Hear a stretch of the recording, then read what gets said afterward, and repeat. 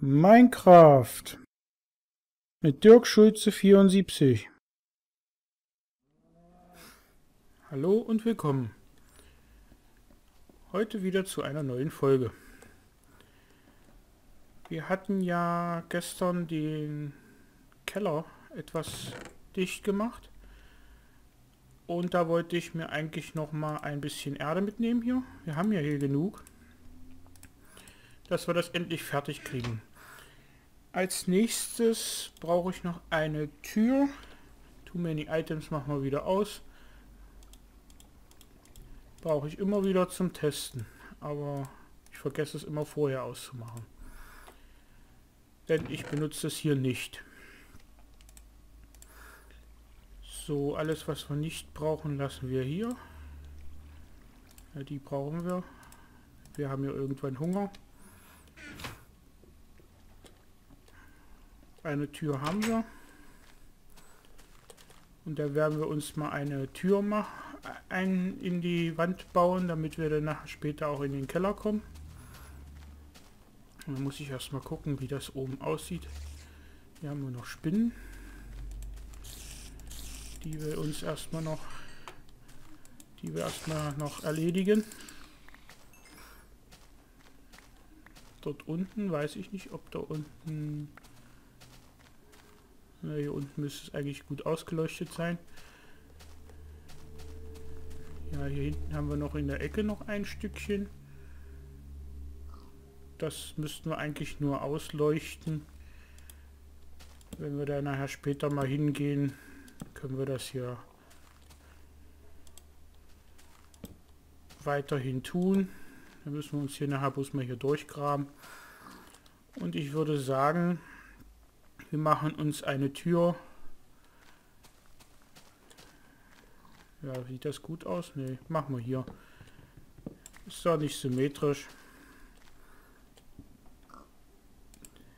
Oder wollte ich denn einen Erdblock drunter, äh, den Erdblock rausnehmen hier? Und da setzen wir einen Holzblock rein und dann machen wir uns hier eine Tür rein. Damit wir hier später nachher hier unten in den Keller runterkommen. Ja, und wie ich sehe, die Schweine wollen hier eigentlich gar nicht raus. Ja, mal probieren. Wir haben hier noch Weizen da. Ob wir die beiden zumindest mit Weizen locken können. Hallo Schweini. Das eine folgt uns zumindest schon mal. Ja, das eine interessiert sich ja nicht für gar nicht für uns. Hallo. Hallo. Ja, offensichtlich will das Schwein nicht. Dann müssen wir es nachher versuchen, durch die Tür zu buxieren. Das andere Schwein, das nehmen, dürfte uns jetzt folgen hier. Dann bringen wir mal das zu den anderen Schweinen. Hier erstmal draußen. Ja.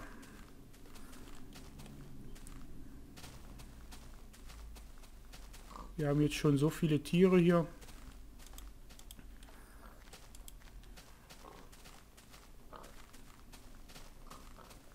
Werden wir mal noch die die Schafe paaren. Habe ich jetzt zu früh angeklickt. Aber vielleicht kriegen wir das eine zumindest noch mit zu den anderen hingebracht hier. Ja.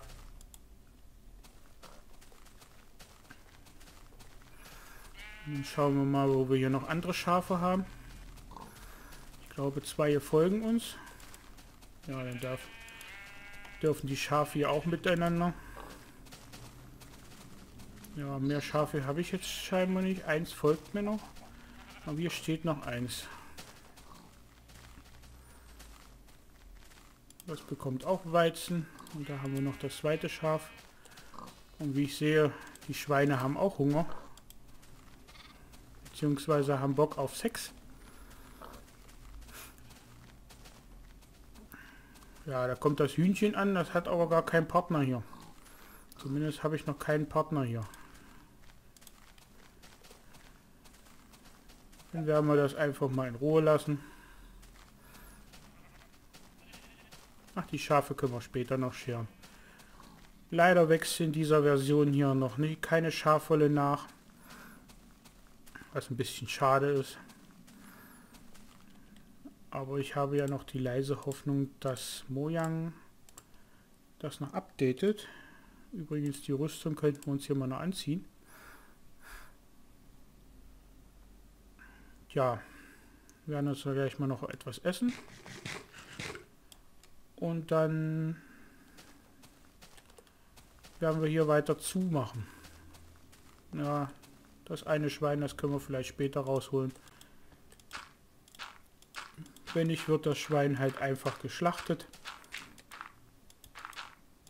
Wir haben ja hier oben genug andere Schweine.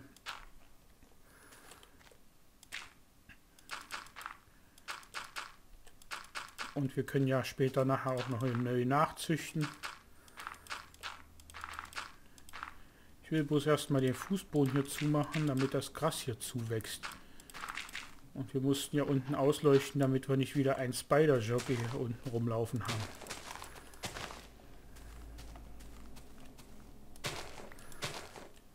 Ja, die anderen erledigen sich wahrscheinlich von alleine. Ja, da wollte ich den eigentlich nicht hinsetzen.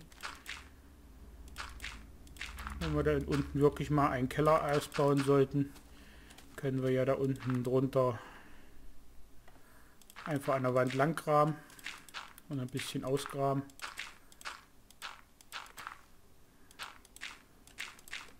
Ja. Das zu diesem blöden Gras wieder.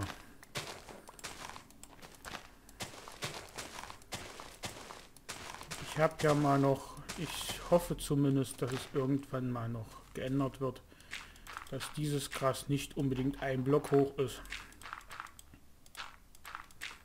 sondern dass es wie Schnee, wenn man auf Schnee einen Block setzt, dann ist Schnee weg. Und das hoffe ich, dass das auch mal mit dem Gras passiert, dass man einfach da, wo der, wo der Grasbüschel sitzt, ja, dass da einfach auch der Block hingesetzt wird und der Grasbüschel weg ist. Das würde vieles erleichtern. Zum Beispiel hier jetzt überall muss ich jetzt vorher erst das Gras wegmachen, bevor ich hier, überhaupt alles zubauen kann. Da unten, das geht nachher von alleine weg. Da dann unten drunter, ja, es wird ja eigentlich nicht dunkel da unten aus, egal.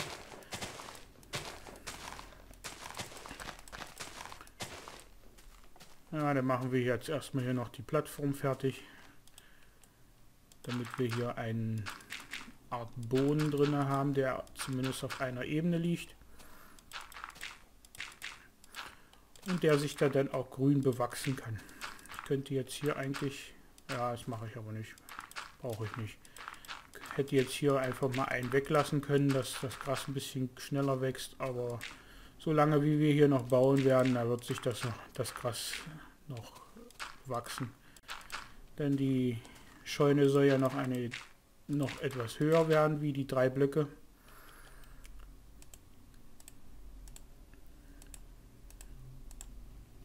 Und ja, ich weiß noch nicht genau, wie ich das Dach baue. Das entscheide ich dann, wenn das soweit ist. Es soll nicht allzu spitz werden, das Dach, aber auch nicht allzu flach. Falls jemand, falls irgendwann mal ein Update kommt, wo dann der Regen Pfützen bildet und wo man Dachrinnen anbauen muss. Ja, da will ich ja nicht die ganzen Häuserdächer umbauen müssen. Also muss zumindest das Dach etwas schräg werden, damit das Wasser ablaufen kann weiß ja nicht, wie die Planungen so von Mojang sind, aber witzig wäre das schon, wenn ja, wenn Wasser, wenn man eine Dachrinne bräuchte, um das Wasser abzuleiten. Und wie ich gerade mitkriege, baue ich mich hier gerade zu. Ja, muss ich mir zumindest einen Block offen lassen, wo ich hier rausspringen kann. Hm. Ja, es ist immer so schwierig hier.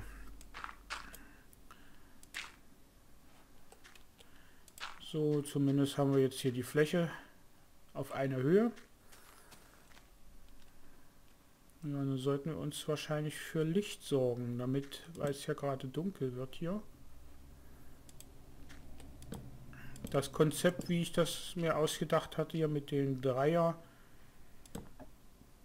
funktioniert scheinbar nicht ganz richtig. Das sieht irgendwie noch doof aus, aber ich mache das erstmal so. Das können wir nachher später noch ändern. Zumindest haben wir denn hier schon mal nicht mehr ganz so ist nicht mehr ganz so dunkel. So wie ich das gerade sehe, wird es auch gerade wieder Nacht.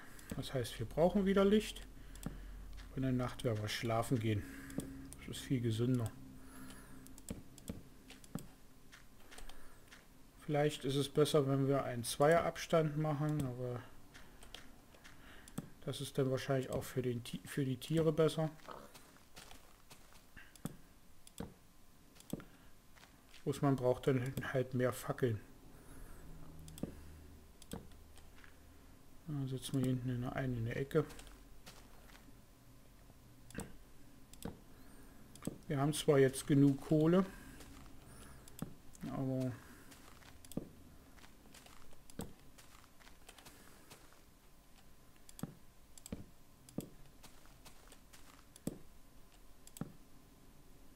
Und die Tiere wollen es ja nachher auch nicht so dunkel haben hier. Ist das noch ein Creeperloch? Oder ist das einfach nur ein anderes Loch? Machen wir das mal zu. Ja, es ist stockfinster.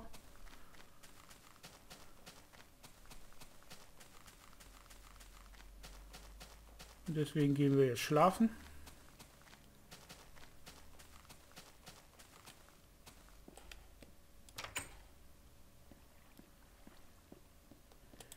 Gute Nacht.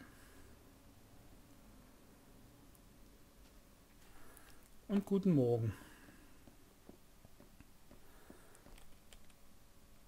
Was haben wir denn an Holz dabei? Ja, das dürfte aber erstmal eine Weile reichen. Aber die Erde könnten wir wegpacken. Wir behalten nur ein Stack dabei. Das reicht. Und wo wir schon mal dabei sind, hauen wir die ganze, äh, das ganze Holz hier mit rein. Brauchen zwar zum größten Teil die Planken. Ja, Fackeln sollten wir uns noch mal machen.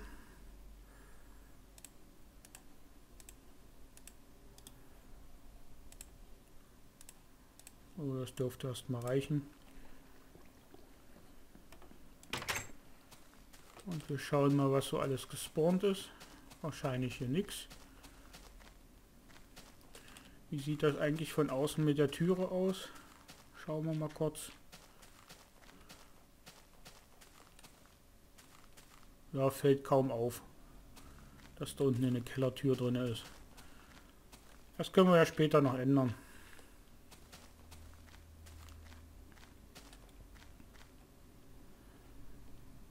So, damit ich jetzt hier hochkomme, mache ich erstmal eine, eine provisorische Treppe.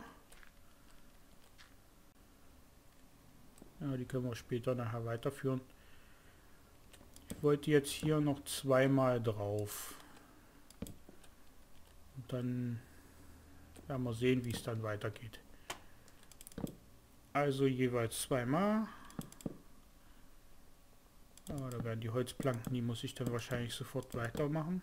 Nochmal welche herstellen.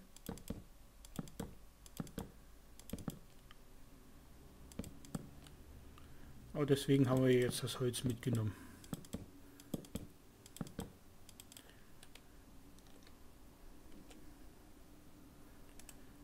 Also Planken. Nochmal Planken. Dann packen wir das nochmal weg. Können wir ja zu jeder Zeit neu machen.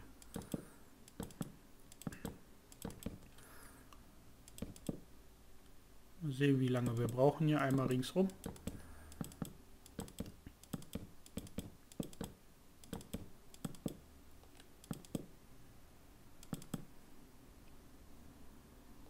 Ja, da unten liegt eine Fackel, die ich abgeschlagen habe, habe ich aber nicht aufgesammelt. Ich weiß nicht, ob man das auf YouTube sieht. Ich kann es jedenfalls ganz genau erkennen. Und da liegen auch Knochen von irgendeinem Bogenschützen.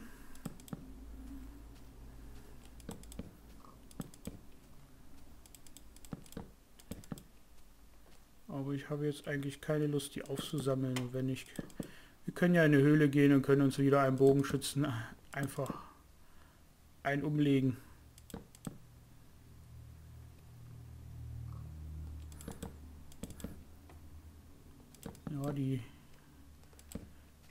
Scheune hier, die wird wahrscheinlich auch ziemlich groß.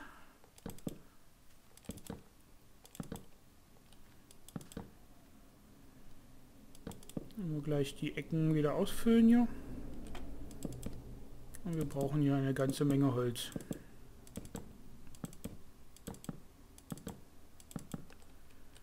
Hier könnten wir uns eigentlich jetzt überlegen, wie ich das Tor zumache. Wir sind drei hoch und vier breit. Also würde ich sagen, machen wir noch eins höher und dann... Das heißt, ich kann jetzt eigentlich hier vier rüber bauen. Auf dem Schleichweg. Und dann, ja, sind unsere Planken, wie ich sehe, schon wieder alle. Bei so einem Bau sind zwei Stacks überhaupt nichts. Ach, die brauchen wir jetzt im Moment nicht. Und den Weizen brauchen wir auch nicht. Wir könnten uns noch mal eine Schüssel draufsetzen hier. Ah, bis jetzt haben wir noch keinen Hunger. Nicht, dass wir hier von der Wand fallen. Wegen Hunger.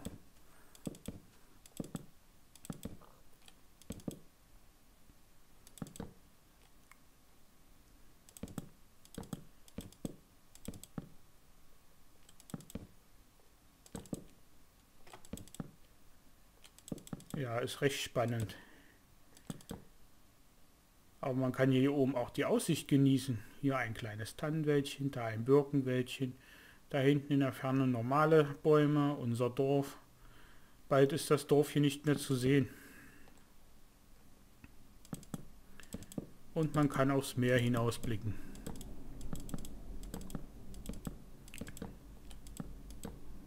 Ja, so viel dazu dass ich keine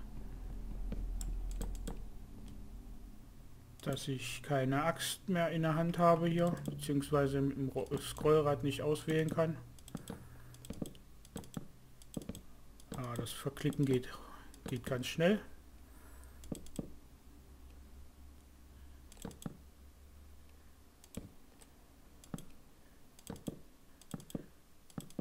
Aber wir sind ja gleich habe ich da jetzt einen vergessen? Ja. Setzen wir den da rein. Ich bin immer etwas zu schnell mit dem Klicken.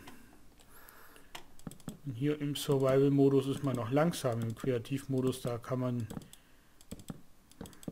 ruckzuck die Blöcke setzen und wieder wegschlagen. Hier im Survival-Modus geht alles etwas langsamer.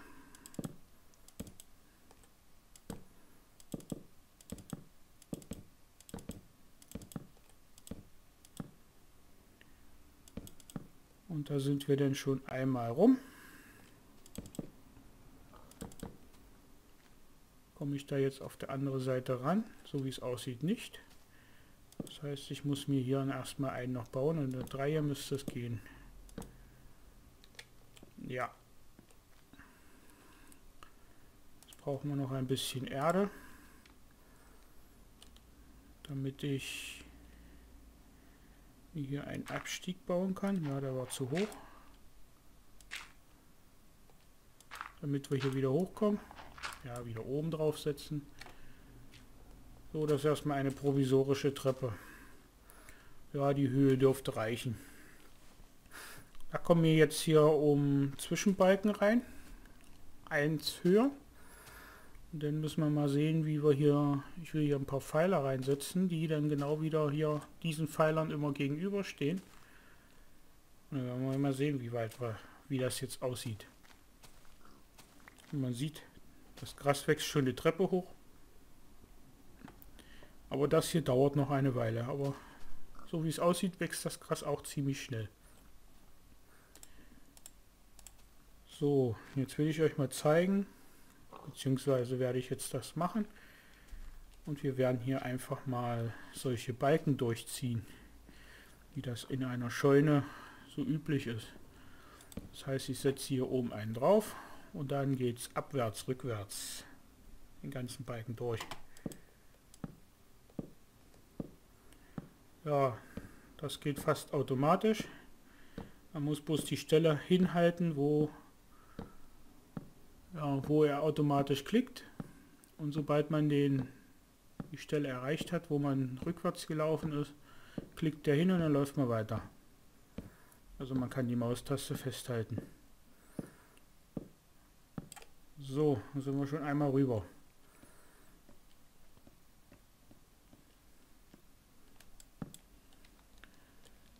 Dann können wir das hier wieder machen.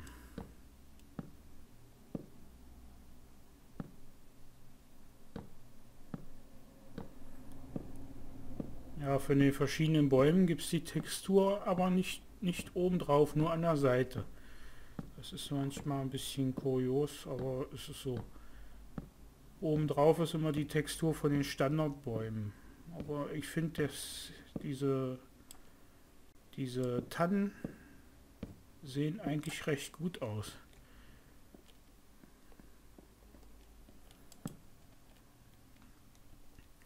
Und werden wir mal sehen, vielleicht müssen wir ringsrum einfach mal noch einen Kranz ziehen. Das sieht vielleicht auch nicht schlecht aus. Aber würde ich sagen, wir machen hier oben die zwei fertig. Die zwei, die wir noch haben. Und so viel Holz dürfte ich noch haben und dann werden wir mal die Tannen einfach mal umhauen, die dort rechts von mir jetzt auf den Hügel stehen.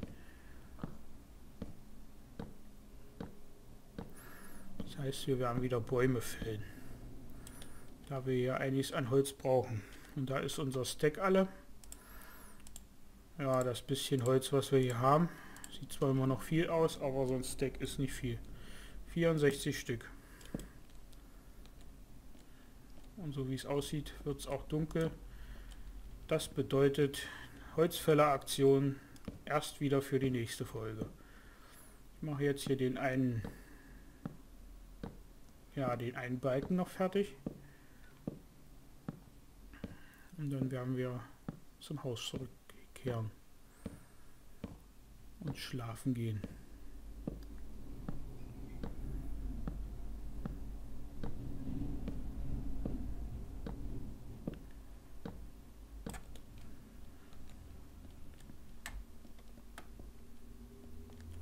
Ich mache deswegen in der Mitte Pfeiler rein, damit ich da dann nachher ein paar Lampen anpinnen kann.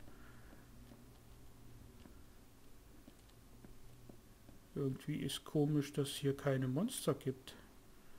Aber ich hatte ja nicht auf Peaceful, was den was diesen Knochen, der dort unten lag, beweist und dass auch die Spinnen da waren. Aber ich sehe von hier oben überhaupt keine Monster. Na gut. Umso besser können wir schlafen.